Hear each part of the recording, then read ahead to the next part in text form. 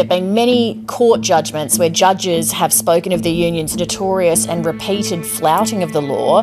Why do you want to cut Mr Setka loose, but not the union itself, given its record of illegality? The trade union movement plays a vital role in our democracy and in civil society. I'm, I'm not suggesting they don't. Unions. I'm just saying the construction union has a long track record of breaking the law. And uh, overwhelmingly, uh, construction workers and organisers uh, go to work to make a difference uh, to their co workers each and every day.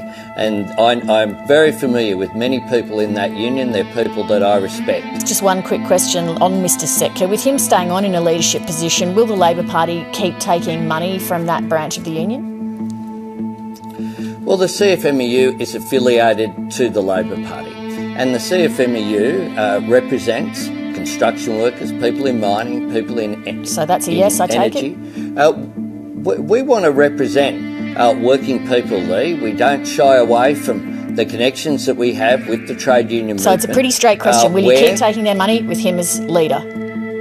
Well, well, well, they're affiliated to the Labor Party, Leigh. Authorised A Hirst Liberal Party, Canberra.